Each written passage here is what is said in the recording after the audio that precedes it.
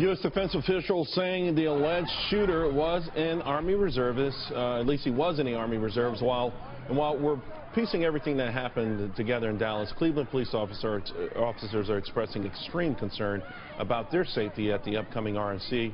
Morgan Wright was senior law enforcement advisor for the 2012 RNC. Morgan, uh, how justified Hi, are these concerns? After today, uh, they're extreme. I mean, in 2012, we were worried about hacktivists, groups like Anonymous, people disrupting things. This time now you're worrying about having to post counter snipers and having to worry about not only behind you and in front of you, but above you. This, this changes the entire complexion.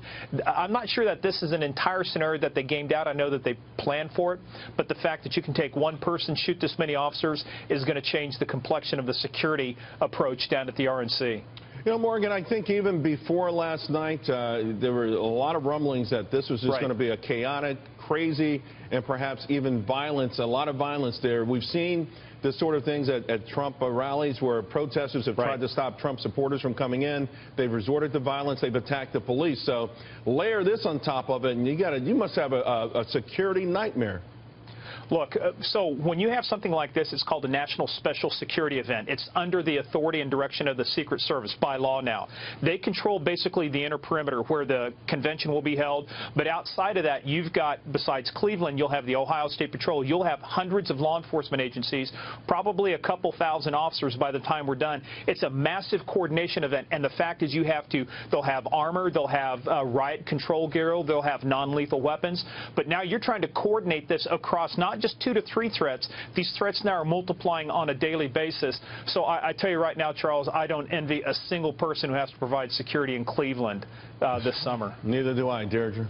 Yeah, indeed. Morgan, I, I want to ask you, I mean, it, it's yeah. very early days, um, but this does concern the shooter in Dallas, and I just want to stress right. this is unconfirmed, but apparently on his Facebook page, he liked several militant and black separatist groups' pages. Uh, some of the quotes that he apparently liked, attack everything in blue except the mailman unless he's carrying more than mail. Also like the statement, we need recruiting everywhere. So if these links do in fact check out, which we don't know that they are, what does that mean for the safety and the security at the conventions? And then what does this mean to everyday citizens and those trying to protect us, the police? Well, look, it's a good source of intelligence at this point, who else he may be following or who he, who he may be inspired by. Deirdre, you know, I talked about this after Paris about some of the attackers mm -hmm. and, you know, the types of links and things like this. But I'll tell you what it poses a bigger problem. You were talking about it earlier with Charles.